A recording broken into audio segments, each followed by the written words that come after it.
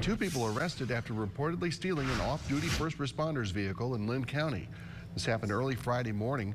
Lynn County uh, Sheriff's deputies had responded to a car crash in O'Donnell and say two people involved in the crash stole the vehicle, but off-duty first responder who just stopped to help. After a chase with Tahoka police, the driver got stuck up, driving up a bridge embankment at Highway 87 and Loop 472. The passenger was arrested there. The driver was later caught trying to break into a home.